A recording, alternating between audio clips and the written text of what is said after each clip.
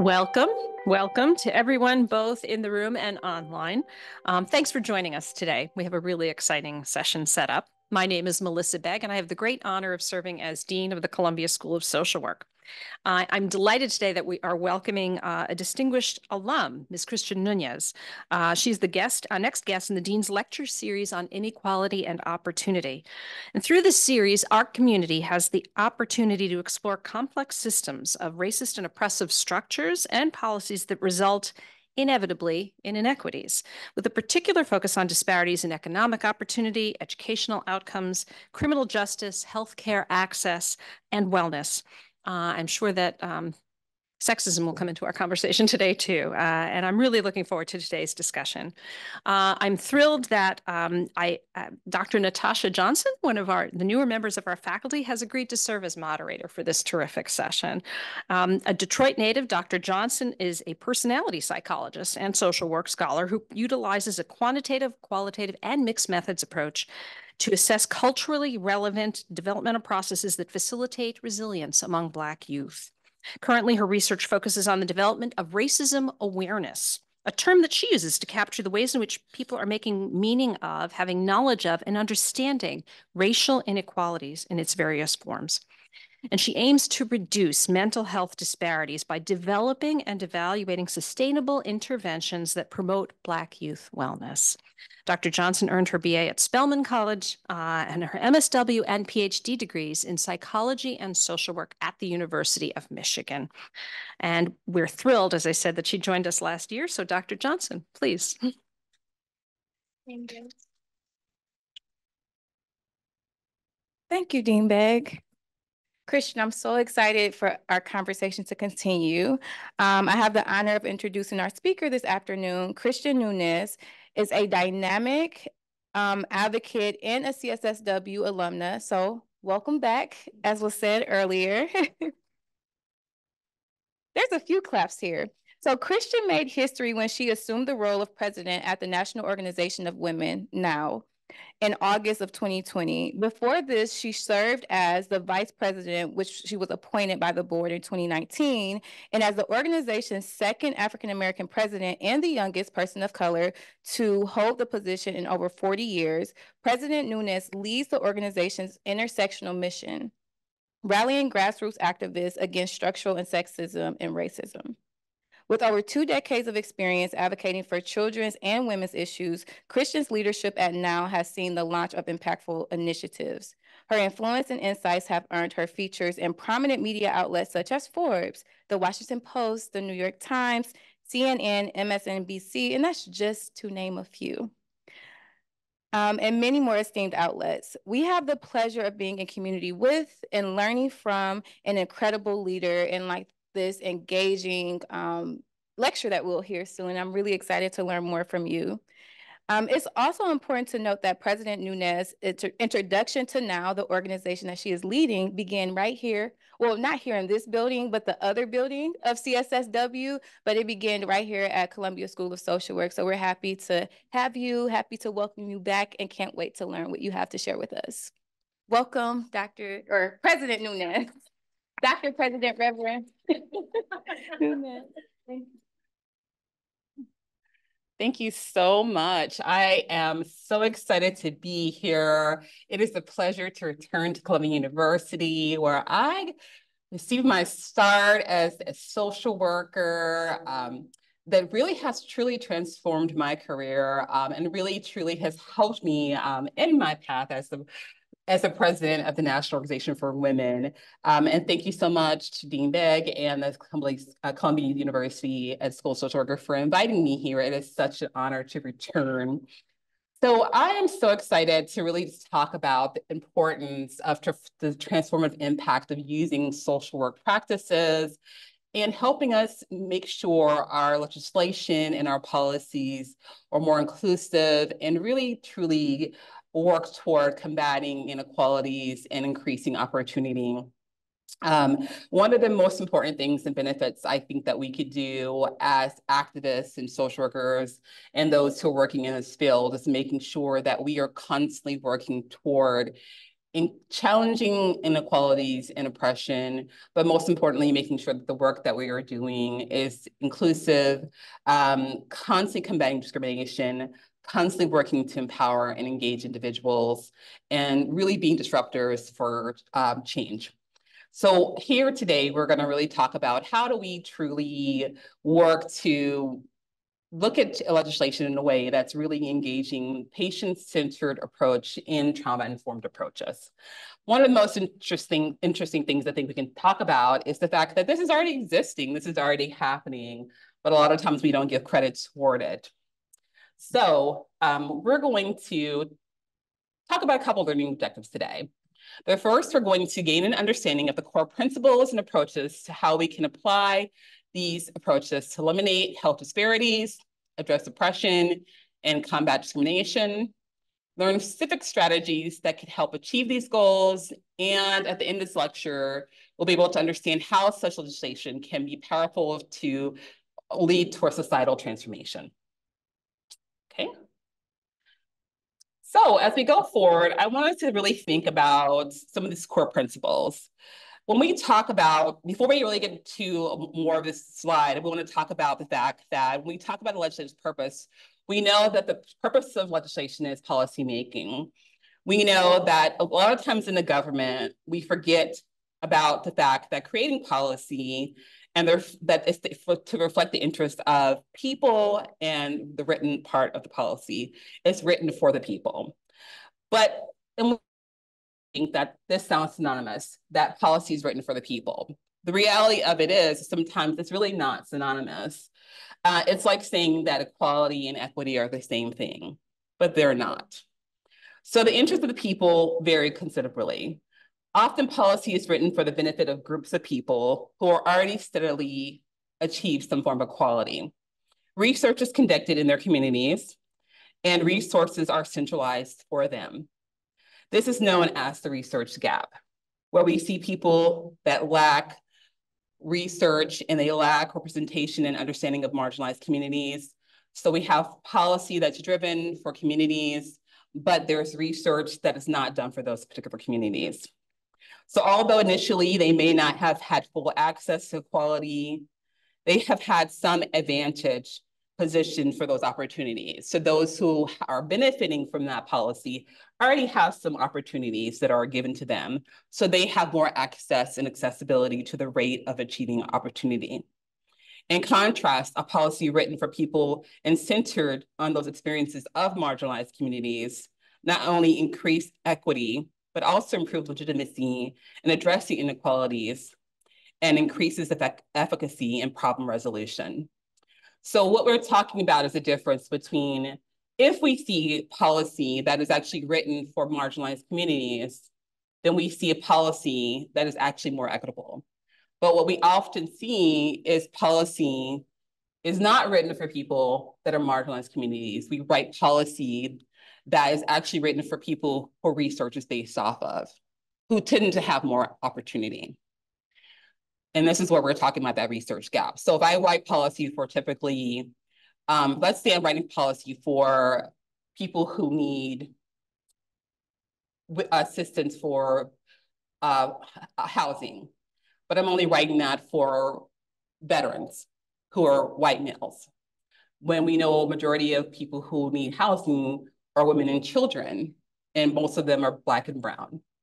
I'm missing a whole large percentage of the population who actually need housing. And my research is based off of white veterans when I actually should be basing my research off of Black and Brown families, women and children. So how can I servicing women and children effectively if my policy is written off of white veterans? There's a disconnect. And what I get in turn are community members who say things like, they are not listening to us. When are they going to speak up for us? Why is everyone silencing? When are they going to speak for us? Because they don't feel like they're being heard. But what we really should be doing is communicating to the community and making sure that they are heard so that we are increasing access. We're engaging them. We're empowering them.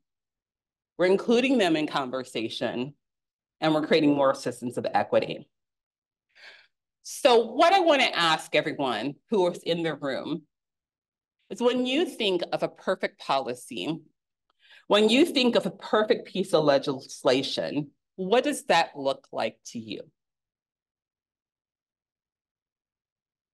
And I want anyone to answer. And there's no wrong answer in this because it's really about what do you feel like is a perfect piece of legislation or a perfect piece of policy? What does it look like to you? We're talking about equity and inclusion. Yes. Addressing a real problem that the community cares about. Addressing a real problem that the community cares about. Thank you. Talk about parity actually having it happen. Okay, so making parity actually exist, manifest. Thank you. Anyone else?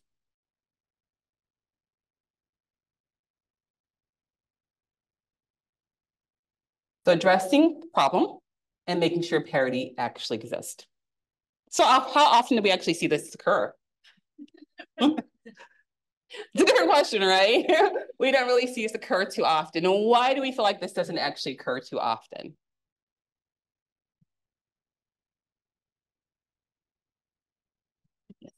I struggle with the first question because I was thinking it the policy does what it is intended to do, but then I thought, well, it wasn't intended to be equitable. So I think part of it is it doesn't happen because it's not designed for people, for for everyone, for it to be an equitable policy. That is a great response. So who do you feel like the policy is designed for?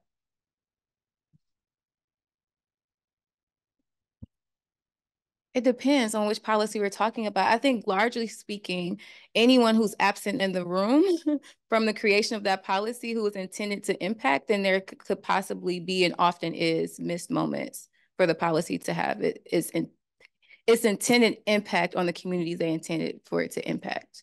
So I think it's typically written for community, but without community in the room. So I don't have an answer. I don't know. I don't know who is written for, but not necessarily with I think you mentioned like having community engaged in the process. And when community is absent, then absent, then I don't know who who is it created for? I'm not sure. So this, is, this brings up a great point. So this is why we're having this conversation today, because oftentimes what exactly happens is when we leave out critical people and critical stakeholders, and that oftentimes are marginalized communities, persons directly impacted, in the conversation, in the process, exactly what happens is the policy is not written for the person. The policy is disconnected. The policy is not doing what it's supposed to do. And so what we reach is policy that is failing the community, policy that is failing the person, policy that is only, uh, only doing the work for certain people. And so then what we get are people who are feeling disengaged, people who are feeling failed, people who are feeling as if, um, you know, they are feeling let down and they become disengaged and they become disenfranchised with the situation and the solution. So this is where our work comes in with making sure that we are doing our part to become integrating patient-centered and trauma-informed approaches into policy. So let's talk about what patient-centered approach can be used and what that looks like when we integrate that into legislation. The basic parts of patient-centered approach that we use in policy that we often don't even realize that we're doing are, let's talk about patient-centered approach first. So patient-centered approach is talking about recognizing the individual's inherent dignity and worth, right? That is basically saying that we know that a person is their own expert they're their own expert in their lived experience. They're their own expert in their work, in their lives, and therefore they are best for making decisions for their work and their needs and their care. They ensure the voices are being heard and respected. And it fosters collaboration, empathy, trust, and respect for diverse perspectives. So this is what we're talking about when we're talking about the person-centered approach, when we're looking at policy. Now that's not all person-centered approach does, but when we're looking at policy, these are the parts that we wanna make sure that are taking place. And we look at trauma-informed approach, what we're looking at is that trauma-informed approach acknowledges the prevalence and impact of trauma on individuals and communities. We're looking at the fact that trauma-informed approach emphasizes creating supportive systems and empowering environments. It understands the complex nexus that occurs with trauma, oppression, poverty. So we have to understand how those things work together and the, and the connection of those things. We can't look at one separately. We have to look at how they're all interconnected. So how do I separate the, the process of looking at poverty and chronic trauma? I can't. How do I look at separating oppression and the impact of oppression, discrimination on trauma and poverty? How do I do that? It's almost impossible to separate those two. They all are interconnected. It also recognizes how trauma as a result of violence victimization affects coping strategies and psychological functioning, right? And the development of that. And then we also have to look at how that also exacerbates when we look at early childhood. So the quicker it happens in early childhood, we also know that that's going to impact and increase. And it recognizes that survivors' resilience is fundamental to healing and recovery. Super important when you're talking about policy. If I'm not acknowledging the importance of resilience and trauma recovery and healing, when I'm looking at policy legislation and programming, well, what's the first, what's the point of writing that policy? Any questions so far? I want to make sure.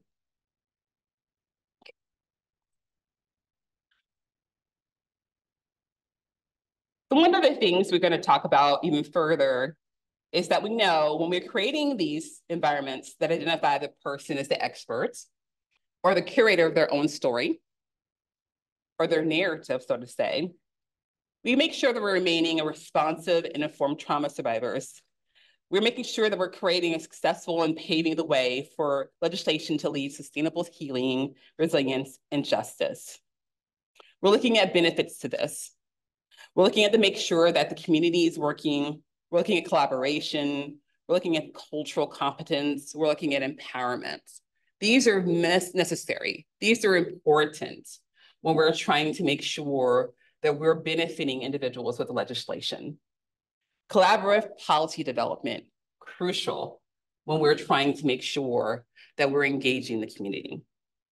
A report for Urban Institute stated that policies co-created with marginalized communities can lead to 25% reduction in disparities and improve equity outcomes.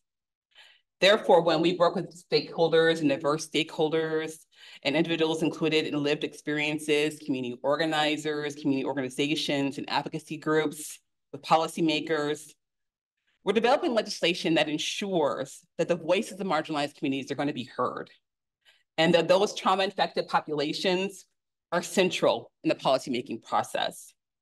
So let me give you an example of what this looks like. In Minnesota, Minnesota developed the first missing murder Black women's task force. Phenomenal work. And what they did was this was founded after a, a young woman was trafficked, but she was groomed by a boyfriend. And when she was groomed by this boyfriend, she wound up becoming murdered through this process.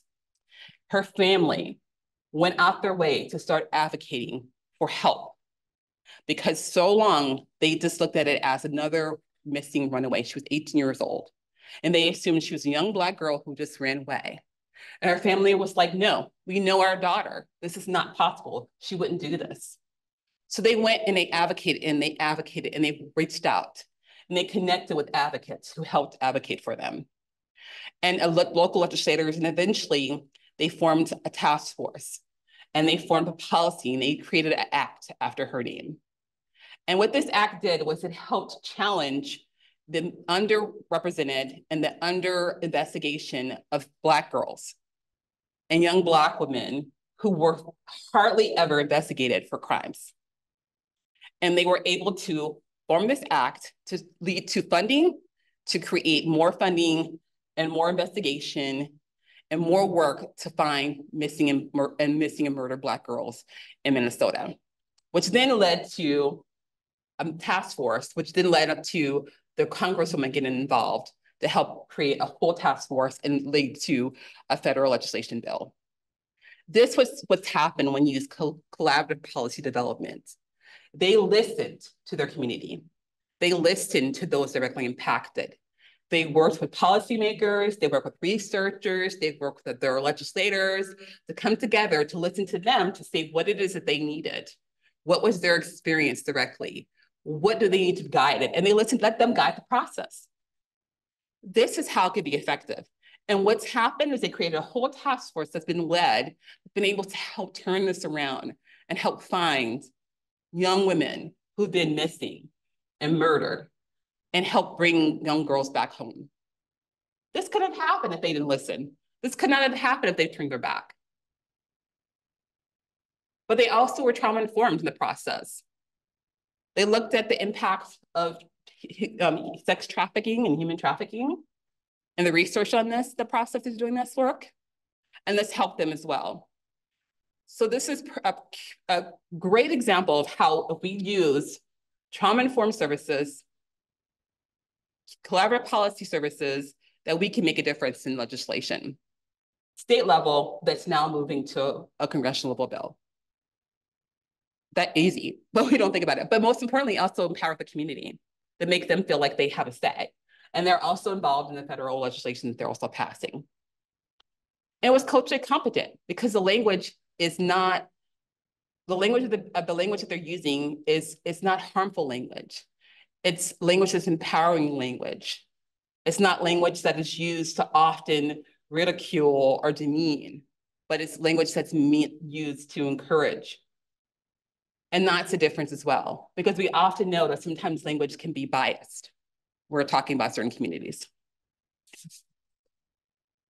Other important things to think about when we're thinking about um, benefits of, of, modeling this is that intersectional analysis. Kimberlé Crenshaw, have you, how many of you have heard of Kimberlé Crenshaw? We all love Kimberlé Crenshaw, don't we? so Kimberlé Crenshaw has coined for the term intersectionality.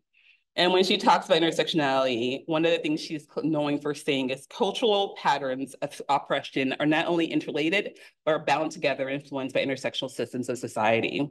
They include race, gender, class, ability, ethnicity, and utilize the intersectional lens to examine how various forms of oppression and discrimination intersect and impact individual experiences of trauma or person-centered care. So it's imperative to consider face these factors of race, ethnicity, gender, sexual orientation, disability, and socioeconomic status for legislative proposals and implementing, um, implementing strategies. So when we think about what we're looking at policy, how can we write a policy if we personally fail to include the complexities of these living and those living directly impacted by these policies?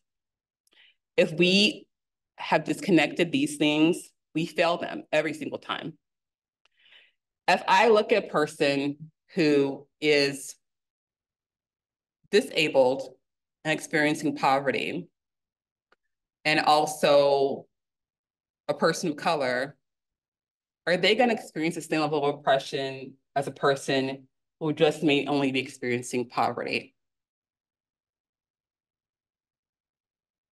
So when I'm looking at how I'm going to be doing the work, and then when I'm trying to craft and do the legislation that maybe might be for um, Family Medical Leave Act, let's say, should I be thinking about those things when I'm mm-hmm. thinking of different provisions of Family Medical Leave Act? Or should Family Medical Leave Act only be based on one certain framework? Question. Should it only be based on one, one framework? I'll ask you, you're doing child tax. you're doing child tax. so tell us why.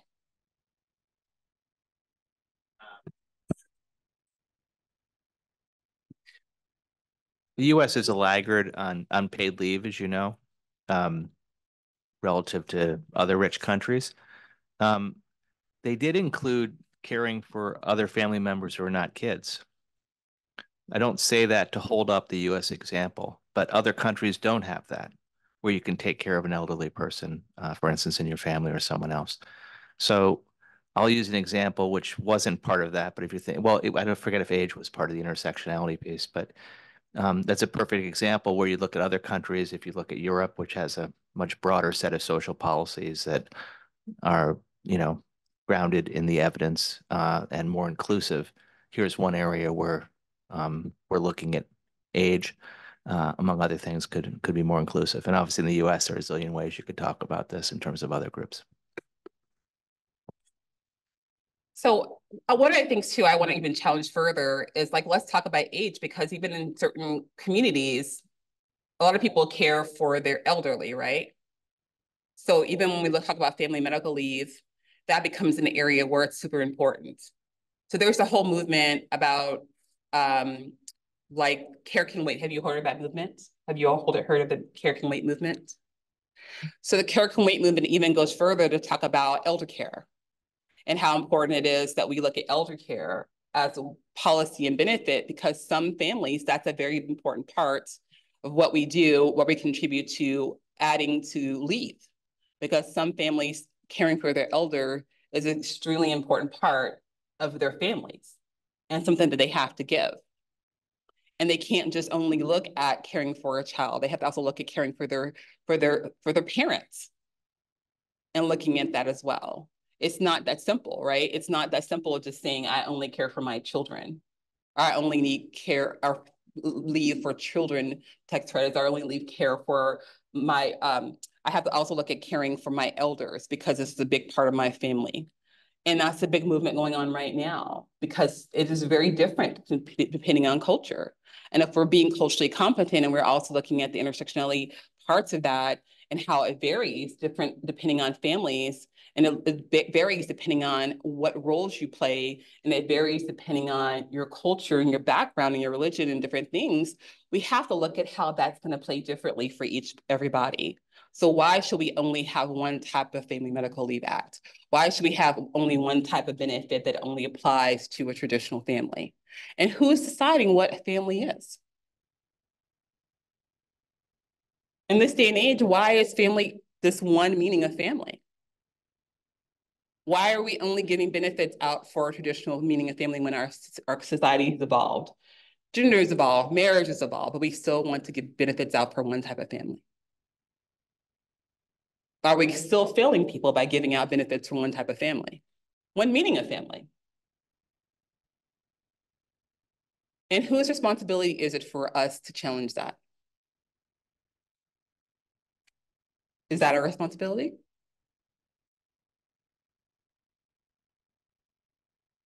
So that's what we have to think about, right? So what role do we serve as advocates in this?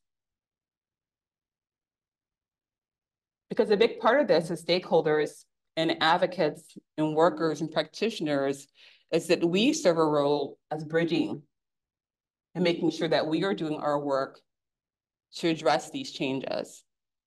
When we know that we're seeing something that's not working, it's very important that we do something and then we speak out how can we be the disruptors in this? And disruption is a positive thing when we're trying to make change to interrupt inequality, right? And so often we want to say, no, I must, you know, just go with the flow. But we can't go with the flow when we're trying to help. We can't go. And that's part of our whole profession, actually, right? Our part of our whole profession truly is trying to create justice and equality and fairness. That's why we, I think we all became social workers or psychologists or counselors is to bring about this change in some way. So one of the other important parts, the benefits of integrating this practice of trauma-informed care and policy and, and, and um, patient-centered approach is the cultural competence that comes with it we know that when you look at cultural competence, and that means we're including the intersectional lens, we're including the trauma lens, we're looking at how that impacts a person, looking at all these different things, that we promote cultural competence in policymakers. They no longer can just write policy that doesn't apply to people anymore. They have to look at how it impacts every community. They're forced to. They can no longer have a blind eye and say, okay, well, it doesn't matter, let's just get this policy written They have to do their due diligence. They have to take their time out. And so one of the things that they say is, um, according to a journal um, article on ethnic and cultural diversity and social work, it says that there's a 40% reduction in perceived bias and discrimination reported by clients receiving care from culturally competent providers when they have received training. And there's also a 35% reduction in re-traumatization by those clients who once they have received it from providers. So there, there's work and evidence that when there's cultural competence and there's training and people have actually been through this process and people are making the efforts to go through this process, less, there's less harm that's being experienced. And when those providers are working with policymakers and able to communicate to them what they need to do, there's less harm being experienced because the providers are telling the policymakers what not to do, how to write it more effectively, how to communicate the policy, how to write it so that it is less traumatizing, how to write it so it's more inclusive, how to write it so it's serving the community better. This is our role. This is how we bridge the difference. And of course, we continue to promote more social justice in time. So I know this all sounds so good, right? it sounds so wonderful. It sounds like so easy, but we live in this very difficult place and time right now. We're living in a in a in a in a place where we're seeing so much divide, so much political division, so much racialized tension, so much hate and vitriol happening. We we don't know what's going to happen in the news from day to day. And it's very hard to figure out, like, if this is so easy and we see this in so many different ways, why aren't we doing this more often? And I asked that question to you. Why do you feel like we're not doing this more often? I pose this question to the audience. And I asked her honestly, why do you feel like we are not integrating this more often if we are living in this environment? And this seems like so easy to apply.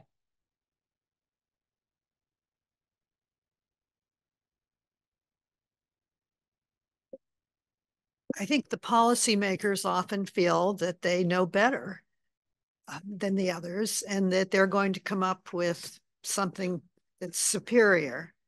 And um, I think also maybe policies are written with a lot of requirements and qualifications that they feel they have to put in so that it will be, you'll be able to do research to see if it's really effective. But you, you know, I don't, I don't know if this is the time to give an example, but I've been hearing about how public assistance, what's left of it, is now given in New York City. And uh, a lot of it is, has to be online. That, um, and that people are not getting to actually talk to the social service staff. They have to call them up from the center, even though they're in the same building sometime. Mm -hmm. uh, you know, it, it's very, and, and, that to me sounded like maybe it's um, something that came from COVID where staff felt they should be protected and shouldn't have to have direct contact with people. But we've we've now gotten past that, and and instead um, there are these very restrictive ways of getting help, and um, the city is very late with it's taking more than a month when pers a person applies for emergency assistance. And um, it, you know, the I don't know if you call those policies or procedures, but they're kind of close sometimes. So those are some of my thoughts from what you're talking about. Yeah, absolutely. And and I, I completely agree with you that a lot of times because of changes or things that have happened, one, I think people have gotten laxed, right, with being connected with the community and and making sure that they are addressing and they have fallen back on being connected and making sure that they are doing what they need to do. you know, they're taking shortcuts. But I think this is where we as practitioners, advocates, um, organizational heads, you know, leaders can make sure that we are accountable. And this is where we can step in. I think I just stepped, I'll go back. I pushed a button, PowerPoint, uh, where we could step in and hold ourselves accountable in the process too. And this includes organizations. Sometimes we have to stop and do our own evaluation and our own check to make sure that we are doing things that are in alignment with, with our purposes. So if an organization knows that we are not meeting the needs, and people are calling and complaining, I guarantee it, right? We know people are calling and complaining. They're saying, I can't get through. I know no one's answering the phone, and you're having complaints then we take the time to do an evaluation, we take the time to do an assessment, and we do, and we evaluate it, and we go in and we figure out how can we improve this. We never forget about the people many policies forget about the people. And I think that what happens also, what you're seeing when you say that um, many of the policymakers are writing them, is that they're forgetting about the people. They're writing, but they're forgetting about the people that they're serving. We have to hold them accountable. We have to go in, and I'm going to get you. I have not heard about you over there. we have to go in and we have to be the ones to come in and say, hey, this policy right here is leading on a very important piece that needs to be heard. So can I set up a meeting? Can I bring in this community members who actually have been experiencing this? They want to talk to you and share with you what they are actually experiencing by this policy or this, this piece of legislation when it's being applied in the real world.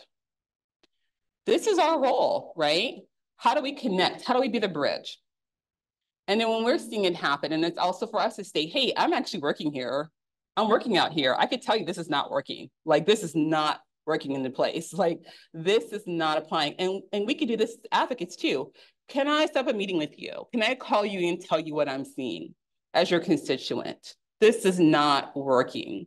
This is what it's actually looking like every single day. That's part of their job is to listen to us. That's what that's how they got elected. And if they're not doing what they're supposed to do, we have to also hold them accountable for that. So I think big, big part of it is for us to also empower ourselves in our roles as advocates and practitioners and, you know, and organization leads to say that this is what we're seeing and this is what we feel like, but also bringing those persons that are directly impacted to the conversation. So their voice is always being heard. And we, we can't ever leave their voice out.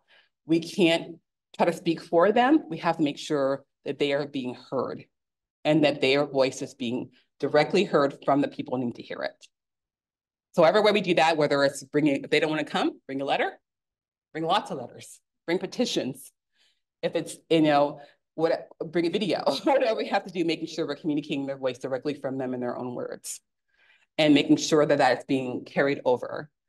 And we do it as grassroots activists. We do it as as persons who are working in the field, we bring all the voices to say how it's coming in all different ways, why it's not working. I think that's a good start. And we have to keep pushing and pushing and pushing it. I'm gonna call you, sir. Thank you for that. I think the, as you were talking, a question that came to mind was, um, how do we empower people to kind of just navigate and just transition through the, the current policies as it stands without wanting to dismantle the current system, right? Um, and then just to kind of like take take us back to the um, the question you posed, some things that I was thinking about was why isn't happening more frequently? It might just be funding, right? The process of actually gathering the people, actually conducting these um, these focus groups and hearing the voices. I think these might be part of the the reasons. The other reason I think um, is the, the more human reason, which is like I kind of want to be the the um the expert in the room right? Mm-hmm. And so as I'm creating these policies, I'm creating it under the pretense that I actually know all the things that's like um affecting the constituents that it's going to be affecting. And so if I open it up to the public and say, hey, I'm looking for your voice, that might create an image that I don't actually know what's going on within the neighborhoods that I'm serving. Um, and so those were mm-hmm. some of the things that was coming up for me. Thank you. That's a really great point. And what I would do in that point is push back on that person and remind them that they are there to represent the people. Like part of that role is to represent the people, right? Your role is to serve your community. So it's not for you to be the expert, you're to be the voice. You are to communicate the needs and concerns of your community. Um, we're not hiring you to be the trustee to say, I feel like this is the best interest. Is actually to be the voice, the delegate for somewhat for your community to say, you know, according to my community, they are communicating that they feel like they need this to serve them the best. And in order to do that, you're going to best serve your community and you're going to build the best trust with your community if you collaborate with them if you're you're gonna if you are in community with them and if you build a relationship with them. And it doesn't occur just at election time. It occurs year round right?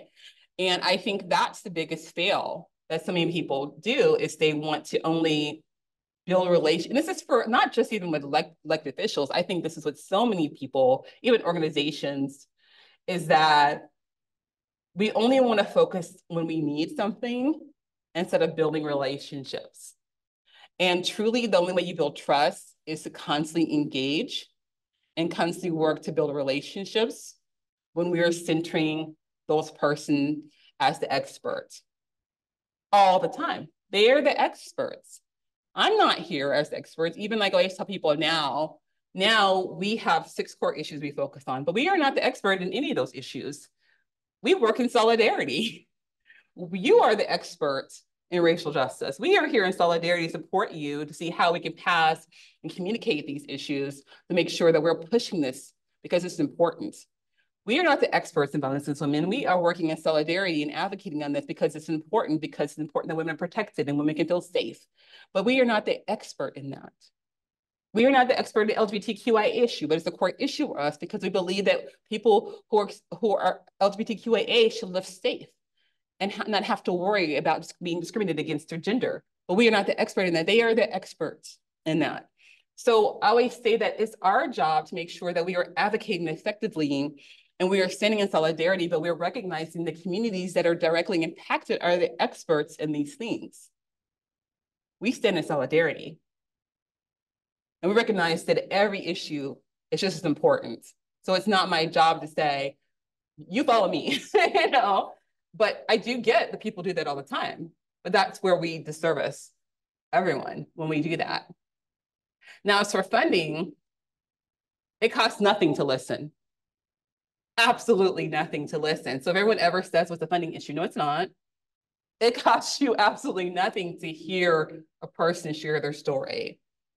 It costs you nothing to sit down in a room and take time of your day to hear what they have to say listen, take some notes, and when you go into that room with the rest of policymakers to say, well, I had a session with these people and they told me this is exactly what's happening to them.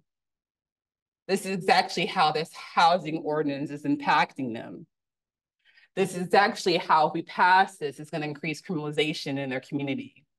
That costs nothing. So when people say these things, we have to challenge them and say, no, no, no, no.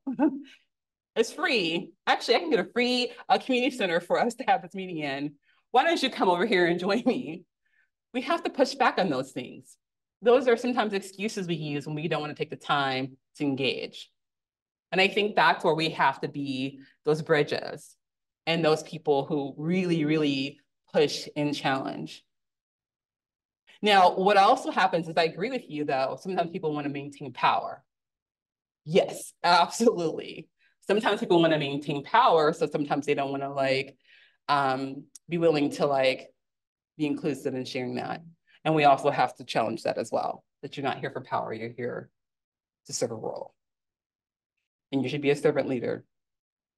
So we want to encourage servant leadership. But I think that, you know, we have to continue to just look at that and say, like, in this environment, the more that we engage people, the more that we center people, the more that we look at how dysfunction, oppression, poverty, trauma impact people, and we're willing to take these things into consideration, the more that we're going to be able to shift the inequalities.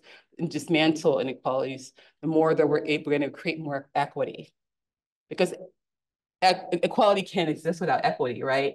We want to constantly say equality, equality, equality, but how do we get to equality if we do not have equity? Everyone's always holler about equality, but how? We have too much inequities in this world to ever get there if we're not really focusing on dismantling all the systems of oppression that are existing. Any other questions or any other comments about this? Yes, ma'am. Um, sorry, can I just push on the um, funding issue that Yeah. was raised, especially in a, say, it's in a state or municipal county where there is limited funding and you're making a policy based on whatever, there, couldn't there be circumstances where the funding is limited and you have to consider how this policy is going to drain or, you know, which community is going to suffer or benefit from whatever policy, because let's say funding is limited, so mm-hmm.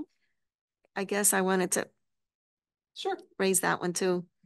So I don't think the issue is about funding though, because if you're looking at equity in the policy, could, the policy could still be equitable, right? So even if you're looking at how do I create this policy so it's balanced, you still can look at it from an equitable stance and who you're serving.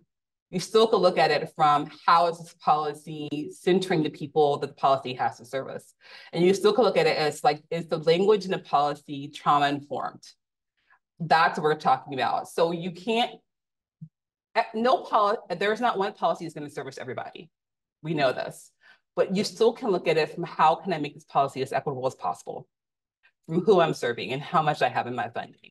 And you still can look at it as how can this policy possibly be as trauma informed as possible. So this policy is not re-traumatizing, this policy is not creating um, more harm and the funding that I, and opportunities that I have.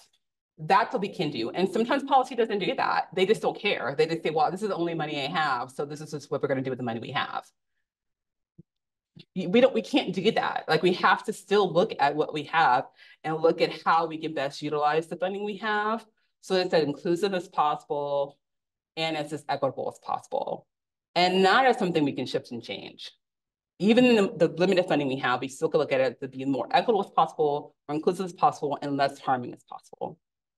That's a difference. And that's where I'm challenging. Does that make sense? Any other questions? Okay. There's, there's a question online. Sure. Someone asked, what do we do to increase outreach into the community to gather the information we need to write policy that reflects the actual needs of our communities and services we can provide to meet those needs? So this is where I would I would lean on to community organizations and ask them to be involved in reaching out to communities. Um, there's lots of communities that do sign-on letters and petitions and gather, you know, signatures from sign-on letters um, to ask them to, for their feedback. I think this is really important to get those community, those organizations involved in getting the feedback in from communities. Petitions are very, very powerful. For instance, right here in New York, I don't know how many of you have heard of Sign for ERA. Have any of you heard of that? Um, Honorable Carol Maloney is responsible for Sign for ERA, right? She's this is a clear example of a policy, like a sign-on petition that's really working toward policy. So this is for Equal Rights Amendment, and it's because, you know, we've gone over 100 years without the Equal Rights Amendment for women. And so she started this, this is just an example, right, uh, for women, and it's really important. So she started this petition drive where she's collecting signatures from everyone, everywhere, like, you know, just going out the way to collect signatures from everybody. But this is a clear example how it's not just happening, expecting like um, policymakers to do it. She's going to the schools, she's going to the parks, she's going to the churches, she's going everywhere to collect signatures. Communities, orgs, now chapters, you know, everyone is asking these signatures. The same thing can happen any different from we get when we collect signatures for voters, for ballot referendums, for anything we can form ourselves to collect signatures for things that are important to us. You can get out there, you can say, this is an issue, this is important to me. Let me gather people to say that this is something that's impacting my community and start gathering those signatures and tell people that this has to change and have people activate and empower themselves within their community to make a difference. And as those signatures come and as you have people sign something or gather, have them pull it together, empower that community, even if it's localized. It doesn't have to be perfect. It could be online, it could be anything, but have them start collecting their voice. The power of the voice is so amazing. Know, they talk about the power of people and the power of money and the power of the voice, you know, and both are so, uh, so amazing and powerful. Well, that power of the voice is, can move so much. And so I think if we can encourage people to pull their voice together, and it's simple and just put it together in a situation where they start identifying a problem that they're seeing in their community and drive it together. And then can connect with coalitions in their community to have them be that connection to connect it with a policy or legislator or policymaker that they know to get it over, I think that can be very helpful. Any other questions, Emily? So I want to give you a couple other examples of actual legislation that has used patient-centered and trauma-informed practices that you may or may not have realized. Okay. So the first one I want to talk about is, oh, might have went too far in my, yep, wait, no. I think I was going the right direction. Ah, Affordable Care Act. Okay. When you think about Affordable Care Act, are you all familiar with this, right? Our first real opportunity for healthcare for all. So the Affordable Care Act, Public Law 111, 148, signed into law in 2010. And it embodies person-centered and trauma-informed care um, by participating with access to healthcare coverage for underinsured, uninsured people, um, and emphasizes preventive care, as well as um, addressing health disparities. So the provisions really focus on making sure that people have well-being, um, trauma services have access to necessary healthcare services without facing discrimination. It provides affordable health insurance through tax credits, marketplace, Medicaid expansion options, depending on where you are along the federal poverty line, as low as below 138 up to above 400% of the poverty line, federal poverty line.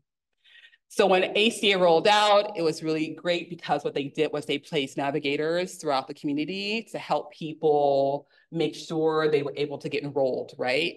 They put navigators where navigators are people who help them figure out how to enroll, figure out what plan they applied for, figure out make sure they understood the process. They put linguistic um, communicators out there, had it in multiple different languages, so it met people's needs for language. Um, it was accessible. They put them in churches and community centers. I mean, navigators were everywhere, right? They made sure it was accessible for everybody. Um, and then they made sure people understood how to fill out the application. Everyone was able to get it, whether your income was higher or lower. They wanted everyone to get. it. They gave you tax credits so it was affordable. This was the first opportunity we really saw patient-centered approach and trauma-centered approach apply. And the best part about it, it didn't matter if you had pre-existing health conditions.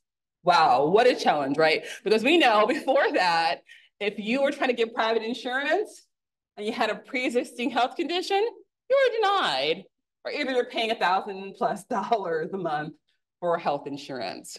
So this is the first time really truly, I think I can really relate to seeing patient-centered approach and trauma-informed approach put into practice.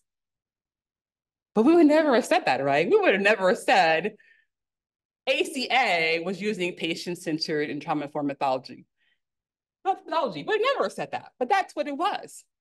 It was focused on the person's needs. We put it in a language, we work with them, we're collaborative, we gave access. It was inclusive. And we made mm-hmm. sure that we did what we needed to do to make sure they got what they needed. And we provided things that provided, made it more simple for them and it wasn't re-traumatizing. Patient-centered, trauma-informed. And you know what happened as a result? As a result, we saw a reduction from 2010 to 2017, the share of adults who reported foregoing needs for medical care due to costs declined from 37 to 29%. More people resulted in seeking care. Access to care increased. People went to the doctor. People treated their healthcare needs. People were healthier because we met people where they at. We made sure they have access, regardless of their income, regardless of their language. We did it so they can get it. Wasn't perfect, but at least we tried. and we constantly evaluated it, right? To make sure we improve what we can improve. Patient-centered, trauma-informed. Next example the Equity Act of 2022. Now, this has not passed yet. It has had many versions since 2019, but I believe we're going to get there. I'm hopeful. but this is a great example of how this, this bill is working toward being trauma informed. And I share this because it's so important because I really like this language. Um, and it's so important that using trauma informed. So Equity Act as proposed by Congress. It's past one round. We're just still not fully there yet. uh, and so its various forms of the years explicitly prohibits discrimination based on sexual orientation, gender identity, um, and it reflects a commitment to person-centered principles by affirming the dignity and rights of every individual, uh, regardless of their identity. So important, right? We're valuing a person's dignity and worth. Additionally, it recognizes the impact of conversion therapy. Wow, can you believe this? A bill that talks about conversion therapy and a form of discrimination that harms LGBTQA people, increasing suicidal ideation, substance abuse, family conflict, etc. So it's recognizing that over the course of time, conversion therapy has led to causing suicidal ideation, substance abuse, family conflict. So it says that we cannot provide services or recommend that as a service to this community. How, I mean, how amazing and how progressive is that? And therefore, it has made sure that it isn't providing services, it doesn't recommend that as anything that will be funded. That is making sure that it does not re-traumatize anyone in this bill trauma informed. Progressive, amazing. So we have to make sure this passes. Person-centered, trauma-informed. Equality Act 2022. And there it's being reintroduced, by the way, but um, let's to put it for 2022 version. The next version, Rise from Trauma Act of 2021 was introduced in response to the, it's also be reintroduced, um, to the response of growing recognition of trauma's pervasive impact. So this is just straight up trauma informed. It was really talking about recognizing how trauma impacts the person's development, psychological functioning, its life, development, and it really talks about it straight in details. And it prioritizes trauma-informed approaches in various sectors, so looking at how trauma impacts healthcare, how you recognize it, treat a person, education, how it comes on education, and our criminal justice system. It looks at trauma across the span of all different sectors. And it really talks about the importance of creating supportive services and healing center society. So it looks at how you have to make sure we're increasing trauma-informed training, trauma-informed supports and services in all different sectors of work. I mean, I was amazed when they came out with this, this legislation as well, because the fact that someone, I think, had to be a social worker working in Congress, said that we need to make sure that we're acknowledging the importance of trauma-informed care when we're working with individuals across the different institutions. So we are not re-traumatizing, so we are healing so we're creating a safe and healed society.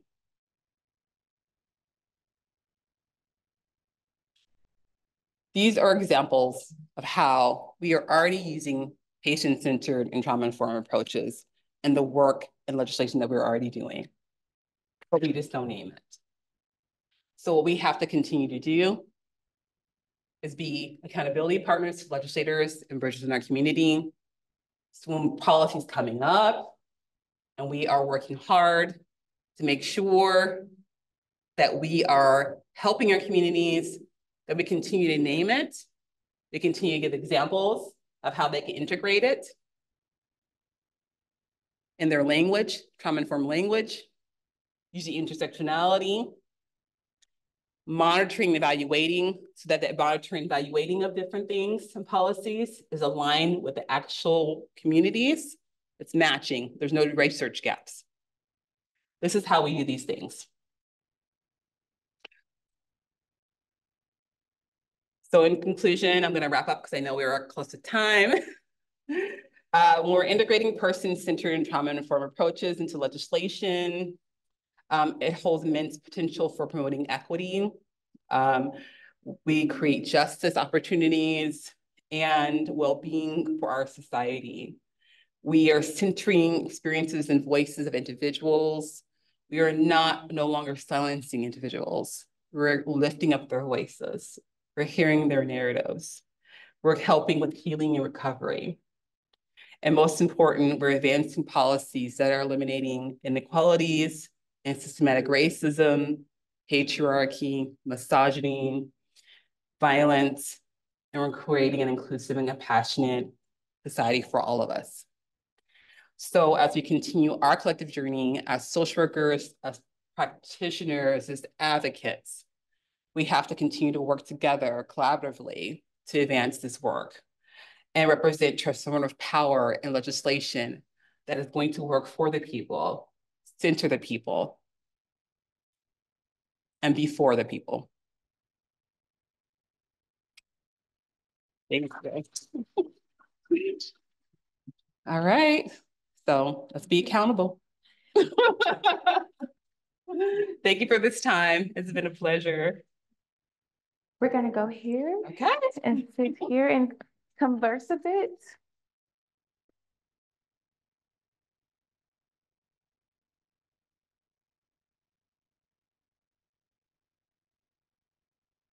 How are you feeling? Good. Good, good, good. so we're gonna, I have a few, I have several questions, but we'll get to however many we can and also open it up to the audience as well that's online and in the room. So really, I want to start with an Audre Lorde quote. Oh, I love Audre Lorde. So Audre Lorde, who also was a CU alumna, um, library science is where she got her master's from.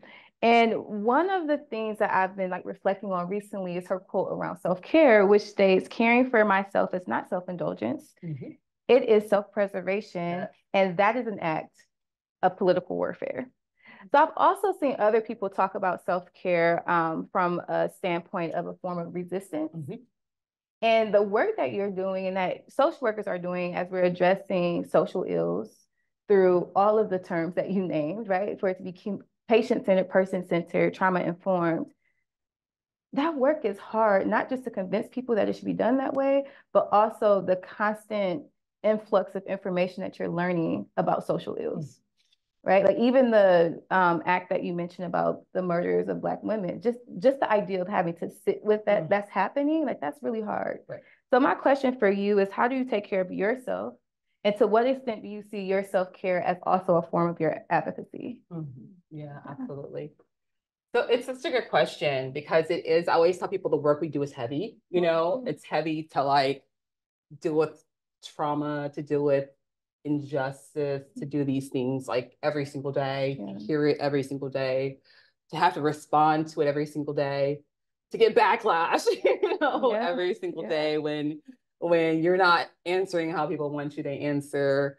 Um, but I have to not take things personal, right? And I have to like compartmentalize at times. That's how part of my self-care is to know what my purpose is and to do the work that I believe I'm supposed to do, do the work toward justice um, and do the work toward equality and know that's what my purpose is. So when I'm doing my purpose, I have to just leave it at that and compartmentalize. And that's how I self-care. And then I go by my day. like, yeah. I just like literally have to, like I just separate. I, I have to, like I, I cannot please everybody. Mm-hmm. And I know that some people want oppression to continually occur. And so if I'm they want oppression to continue to occur, they're not going to be happy with me trying to disrupt it. Mm-hmm. And they're going to be mad and they're going to be hateful. So I can't please them. And so I have to like do the work I'm trying to do, leave it there, mm-hmm. and then go home and be with my baby, yeah. you know, and watch my shows yeah. and be with my family and be the people I love and give me joy. Mm-hmm. And that's just what I have to do. And that's just what I do is compartmentalize as best as possible. And that's how I have my own sense of resistance and joy is leave it there and know when to top, take a break. Yeah. Taking a break, at what point for you do you realize you need to take a break? Because I think sometimes what happens, and what I see, I think even with our students and folks who are practicing, um, is that burnout happens mm-hmm. and you don't realize you're burnt out until burnout happens. Mm-hmm. So for you, what's an indicator or advice for someone for when is it time to take a pause?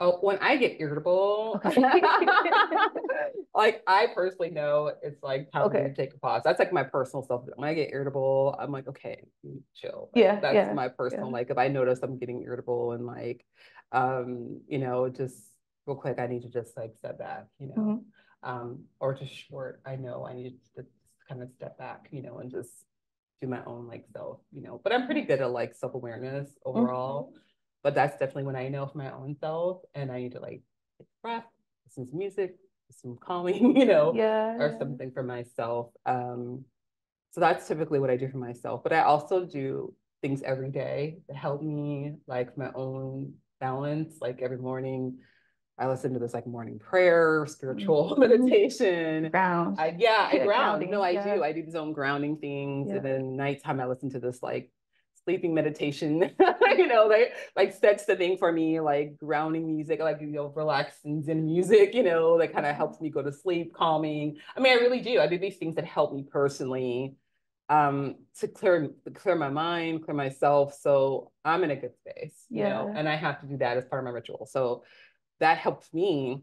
So every day my mind's clear and yeah. I'm not holding things, you know, and that that just really helps me kind of keep myself. Yeah. So personally, you stay in practice of your rituals mm-hmm. that ground you, and then professionally, you don't take it personal. Yeah. Yeah. Yeah.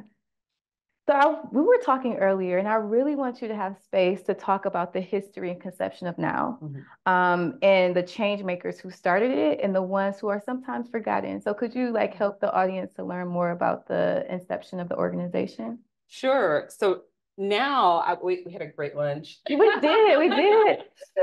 so NOW was actually started in 1966 and it was started with actual at the time in June it started with a total 28 co-founders but 12 original co-founders.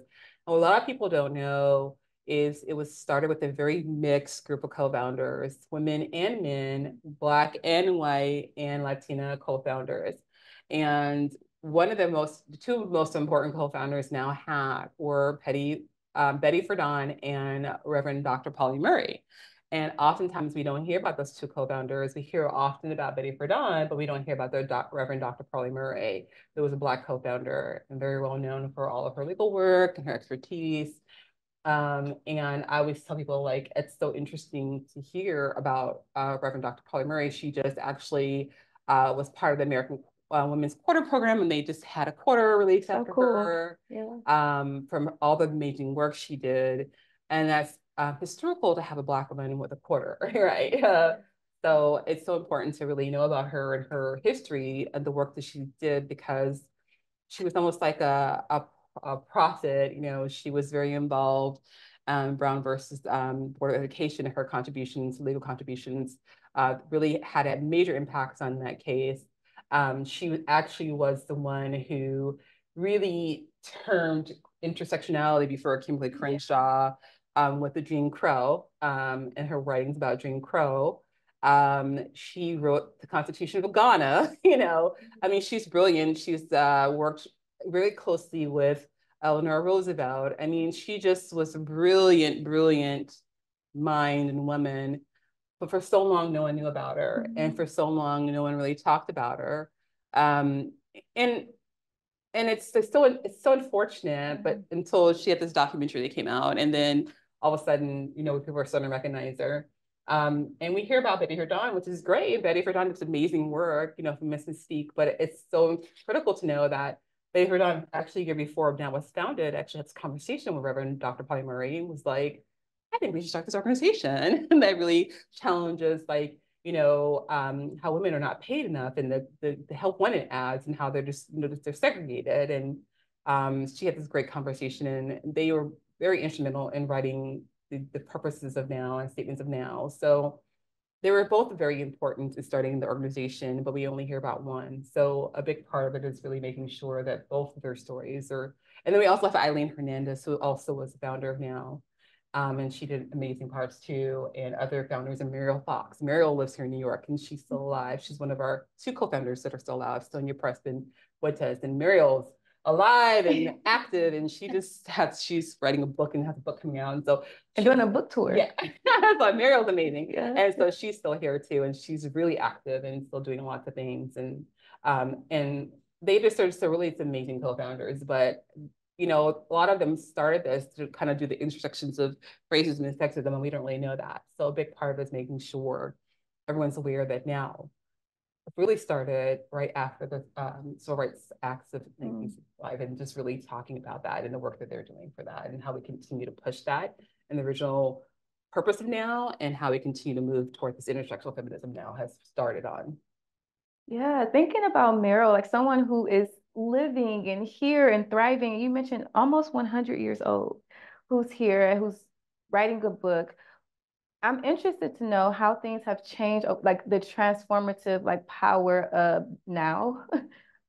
I meant now, like in time, not in like now in the organization, in the present. Because mm-hmm. you were saying like we we've evolved, right? So I imagine the mission has evolved. So what it to what extent has the mission evolved?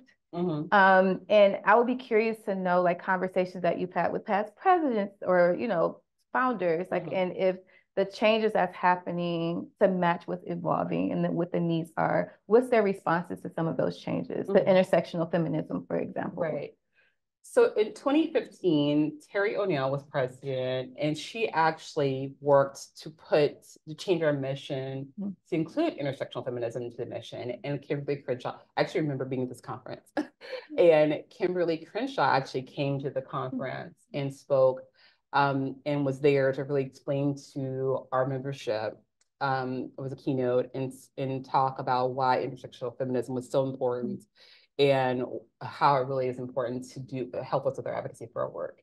And that was, uh, we were having a BILAG conference, and that was a conference when we actually voted to change our mission to switch it to include that our work would be from an intersectional feminism perspective. Mm -hmm. So Terry O'Neill was the president at the time who actually helped us switch our mission to include intersectional feminism in the language. So that's when we first really shifted yeah. the language to include it. And it was it was some work, right? Mm-hmm. Because, you know, for so long, I think, you know, sometimes people say things, you know, don't know why we have to change things. We're doing no, but, we, but it's important to have the language. It's important to acknowledge and be accountable and say we're going to do this work. So by changing the language, it holds you accountable to make sure you're doing it. Yeah. And so by us shifting language, it makes sure that the advocacy we're doing and the work that we're doing and all the advocacy and legislative work we're doing in education and awareness is mm -hmm. coming from that perspective. So that is where I think that where we really started moving more toward that intersectional feminism perspective happened once we shift that language in 2015. Yeah, that was like your quote at the end, right? Like we hold folks accountable. Mm-hmm. Like that's part of the work. So essentially the mission is holding the organization accountable yeah, to I mean, do it. You can't expect, we can't go out and say, you have to do this. Yeah. And we want you to do this. So we're not holding our own selves accountable as well. Mm-hmm. So it has to happen internally before we can be, we, we so before we can go out and expect anyone else. But you have to model it well. You have to model it. So you have to do your own internal analysis.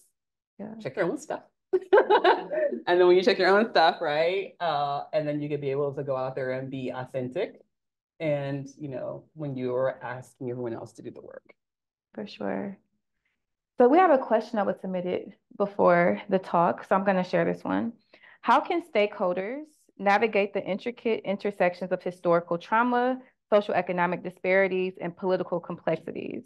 And it would be really great if you can speak to unconventional stakeholders, like what are the stakeholders, who are the stakeholders that often get missed? And I think you spoke to that mm -hmm. some in some ways, but if you can kind of like speak to it a bit more. Mm -hmm. Yeah, so I think like like I was kind of mentioning, some of the stakeholders that often get missed are the communities. Like mm -hmm. when we're talking about um, actual persons who are living the experience, they're often missed. Um, community organizers are often missed. Um, institutional leaders are often missed. Mm-hmm. Um, and I think those are really the main stakeholders I think are often left out. Anyone that's actually in the community are the main ones are often missed out. You know, when you're heading a, you know, a national organization or you're leading an organization, the principals, you often are involved in the conversation. But when you're actually in the community, like doing the, you know, the, the what they call the boots to the ground, the grassroots, you know, work, I think sometimes you're the ones that are kind of sometimes left out of the conversation mm -hmm. unless someone from the, the top brings you in. So I think that's important that we bring those stakeholders in and and make sure that they're included in the conversation. And more orgs are doing that. More orgs are making sure that they're bringing those persons into the conversation and making sure that you're having representation for people who are actually directly impacted. But I think that's crucial that we do that. I think it's crucial that you always have somebody who's an, an advocate and an activist and a person who's directly impacted in a conversation, because otherwise we're going to miss a point. We're going to miss something um, yeah. in, in, in the process if we leave them out. So what would you say to those stakeholders who are often left out? How do they, in what ways can they be proactive or thoughtful about their engagement and other works, like whether it's research, whether it's um, other collaborative efforts that's not necessarily grassroots? Like, how would you speak to them about bridging the gap as well? So, for me, I don't really think it's. I don't know if I feel like it's their responsibility mm, to do yeah. the bridging. I feel mm-hmm. like it's the organization's responsibility to reach out to them because I feel like we're asking them to do the work that we should be at. You know, I feel like it should be reversed. I feel like we should be going to them and, and saying like, hey, you know, this is what's going on. This is what is happening right now. We want to talk with you and ask you, what do you feel like is happening? What do you feel like is going on? How can we do better? I don't feel like they should come to us and say, this is how you should be doing better. Mm -hmm. I feel like we should be going to them and saying, what can we do to be better mm -hmm. about this? And instead of expecting them to come to us. Yeah.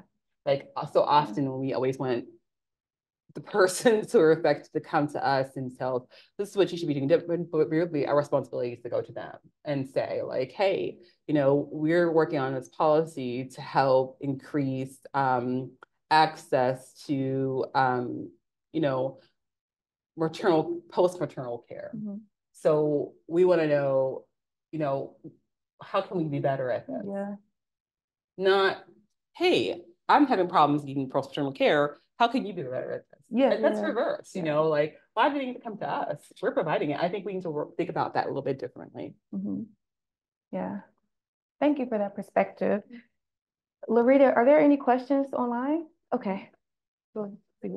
Yes, there are several questions okay. online, but we'll get to. Um, we probably won't be able to get to all of them. Here is one.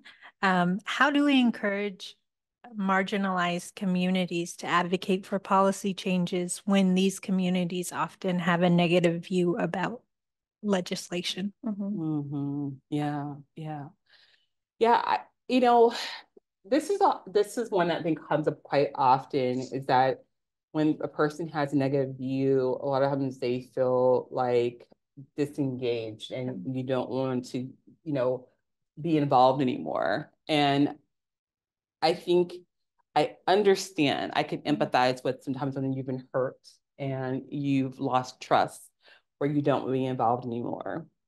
But what I would say to that is nothing can change if your voice is not heard. Mm-hmm. Your voice is the strongest tool you have. Your perspective, your viewpoint is the strongest weapon you have. Mm-hmm. So although you may have been hurt. The only way we can make the change is if you continue to use your voice as your tool for communication. And so we need you to figure out a way to use all your frustration and all your energy to continue to find it to pull your voice together. Um, and, and even if you personally haven't collectively put the voices together so that it can be heard. Mm-hmm. Um, because otherwise it will never change if the voice is not heard. Um, and I and I know that's a big part people feel like right now, and especially right now, I know a lot of like Gen Z are, are feeling disengaged and they're feeling like mm-hmm. I, I I don't feel heard, I don't feel seen, you know, there's no point for me. But if you're not seen and you're not heard, you, you'll never be seen and heard. Yeah, and no one will ever be able to rec- represent you if you're not speaking out. So we have to think about that too. We have to think about like how the best way to do it is to be seen and be heard. So then once you're represented, then you can find a way to get together and go forth and say, let's have this meeting now. Mm-hmm. Because now that I've spoken, we got you here. Now let me tell you what I need you to do to change. So there's a process to it. We can't just give up right at the beginning and say, I'm just not gonna say anything because when you're not heard, you're never gonna be represented. So let me be represented. Let me have my voice recorded. And once recorded now, my next step is let me get you in this room. let me get this meeting heard. So then I could then tell you uh, what I need to change. And this is how we're going to change. Mm -hmm. And these are my demands. And then you can go to the next process. But I think we have to make sure that you're always heard. Your voice is always recorded. So then we can go to the next step. Because remember, there's a process to it. It's not always just on one point. There's a process to always negotiation. There's a process to making change. It's never just mm -hmm. one mm-hmm. piece. And I think you're making an important point for those who are working alongside of communities is to empower their voices, mm-hmm. right? So all of the things that you just named, I work with young people often, and hearing you say that is like it's important to remind young people and other people that their voices matter. Yes, absolutely. Loretta, another? Oh, oh, please. Oh, in the room. Yes. um, thank you for your beautiful talk, um, President Nunes. And uh, you mentioned the importance of relationship, and we were talking about that earlier today. And I'm just picturing as you're trying to to move legislation forward, I imagine you're sitting down with um, politicians from all different parties and backgrounds and platforms and that there's a lot of persuasion and negotiation that goes into that and i'm wondering about you know your social work background and how you think about that or if there are any examples you could share of how you, how you push things through to to to get that finish line. Yes. I, we were talking about this earlier and i was saying social work has been the most beneficial. Yes. um, and a lot of that is communication. A lot of that is like you know just you know learning you know having conflict resolution skills and being able to really just talk and learn to negotiate and navigate conversations and being able to understand people and being able to get them to understand and being able to get them to be able to identify what is their best interest in situations you know and how do we work toward a common goal you know um you know sometimes i think people are fixated on what they want mm. and they're fixated on their beliefs and that's where we get stuck in situations so if we can get past your personal belief and move toward our common goal of the outcome, we can oftentimes find resolution. Mm. And it's getting people to identify what that common goal is. Um, when we get past my personal belief, when we get past my personal value where we can come to our common goal of what we are all agreeable on we can come to resolution and sometimes this is really breaking it down i see sometimes i feel like i'm a therapist more than anything yeah. you know like the therapy skills really work really well right Um, but it is really like how we have a conversation and, and it's not and it's getting people to move aside from their personal feelings that they're rigid their, the rigidity of things and just saying like, okay, I get this, but where is it that you feel that you have give? Where is it that you feel that you can agree with me on this? Where is it that you feel like you believe people deserve these things? Moving people to those places, I think, are great places to move. Any other questions that in the room? So I actually really love that last statement you just made. Um, just getting folks to the place um to actually begin that conversation. I think just from everything that I'm hearing so far, um, I'm left just thinking in terms of the empowerment of the people, right, and really just trying to get everyone on the same level to be able to have a conversation to get them to the end goal. For those who are extremely marginalized, right, right, and so when I say extremely marginalized, I'm talking about the folks who hit multiple marginalized categories, right. Um, when thinking specifically about the things that they're bringing up and speaking into a room that can't relate to the issues that they're bringing up, how would you suggest that person essentially bring this conversation to, I guess, create a level playing field for all?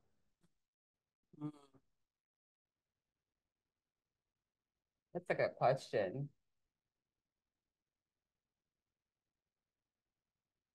So I, that's a really good question because if they can't relate, but I, you know, honestly, I don't know if it's, it's really about like, I think it goes back to, you know, if they're looking for justice and they're looking for equality, do they really have to relate? Or do they have to have the, uh, do they have to have the idea that they want justice and equality? Do they really need to relate to everything? So it, it's like, do I have to be a person that's experienced everything? And this is, I think this is important because do I have to be a person that, that has experienced every injustice to believe in justice? Do I have to be a person that's, that's experienced every form of oppression to believe in oppression? But do I have to be empathetic to it? Hmm. Do I have to be, do I have to believe that it, that I, that it needs to be dismantled? Do I have to believe that people deserve to have equality? I have to be, to believe, to believe in that value of equality and justice. Mm -hmm. And if people are believing that value of equality and justice, that's where we have to make sure that they're they're starting that's where I have to get them to focus on, regardless if you, there's no siloed work in justice, right? There's no solid work in like equality. We can't say your sense of justice is better than my sense of justice. Your sense of equality is better than my sense of equality. But if you believe in equality and justice, then you're coming into this believing in equality and justice. So regardless if you understand what my oppression is, what my injustices I've experienced are, if you truly believe in equality and justice, you're gonna be willing to listen to my experience. Hmm. Period. Yeah. like this period, right? I mean, you don't need to understand it, but you have to be willing to invest in the value of equality and justice. And I think that's what we have to get people to understand. Sometimes I think people want to be like, well, I personally have never experienced this. You don't have to. You really don't have to. But do you believe in equality and justice? Do you believe those values? That people deserve to have fairness, people deserve to have justice, people deserve to have equality. And if you do, then you don't need to have to have experienced it, but you have to believe in those values. And if you believe in the values, you'll go in, you'll be quiet, you'll listen. Mm-hmm. And I mean be quiet. yeah. And I mean not question. And I mean not try to justify. You know, you have to sit there and listen and be quiet and receive. Yeah, I think that is a perfect point to conclude. And I, it, it also emphasized your point earlier that people are the experts of their lives. Yeah. And if you start there and trust that and believe that people know yeah. themselves and know their lives, then you respect them when they enter this phase. Right. Yeah. And you trust it. And you trust it and you trust them. So let's all thank Christian President Nunes for such an amazing class. Thank you. Thank you so much for inviting me out. This has been wonderful. I've had such a great time. Can I thank you too, and and Dr. Johnson for superb moderating, yeah. and President Nunes, what an outstanding example of a woman leader who is smart and ethical and compassionate, and it's just a, a joy to see you in this role. So thank you for all the work thank you do. Thank you so much, Dean for the invitation. Mm -hmm. Thank you all for being here. Thank you.